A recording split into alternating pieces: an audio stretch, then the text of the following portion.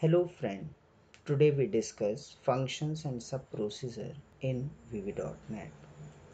First we discuss with the concept of function.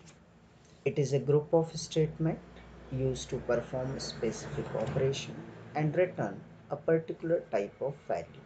That value depends on the data type that has been used during the definition of the function we will see the syntax. Here first we have to use modifier like private public and protected. Whatever pattern is there that we are going to use.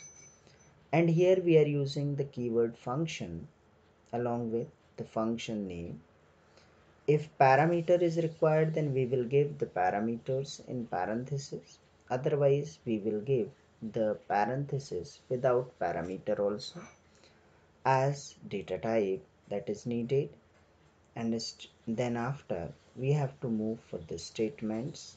And then the function will get clues with the help of function keyword.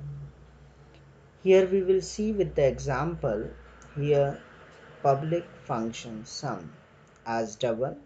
Then here the statement will be there and function will be there where we will close the concept of the function here if we discuss with the functions in this modifier if we are telling these are the basically the access label of the function that we have to use.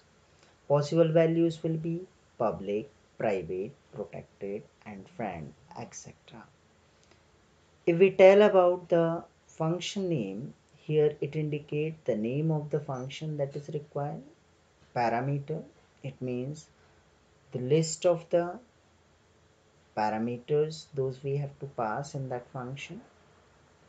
And return type it is specify the data type of the variable the function returns. In VB.NET a function can return a value to the calling code in two ways by using the return statement by assigning the value to the function name. These basic patterns are there for the function. If we discuss with the another concept that is called subprocedure. It is also a group of statement used to perform specific operation and they never return values. Syntax for them is modifier, subprocedure, parameters, then statements and then answer. For example public sub clear and then statement will be there and it will be End Sub. Now here also the few basic terms that we have to discuss with the subroutine that will be there. Here also the modifier there basically that tells about the access label of the function possible values will be public private protected and friend etc subname basically a, that is a sub procedure name that indicate the term that we have to use for calling. Parameter list specify the list of parameters those are needed for the subroutine. So here we are using the concept of subprocedure and functions that is the main part of the programming. When we have to use number of functions and procedure in our program then we will follow some basic instructions. Those has been mentioned here.